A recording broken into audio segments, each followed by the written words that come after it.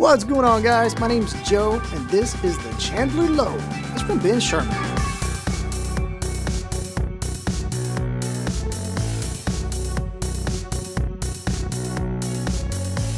Now these stickers come in a variety of textures and materials. The one I have here is the blue steel colorway. It's got a nice sheen to it. Got the clean sporty toe up front. Low profile midsole keeps it flexible with the sporty tread down low.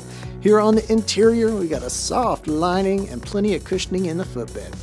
When you're gonna go low, go with the Chandler Lo from Ben Sherman.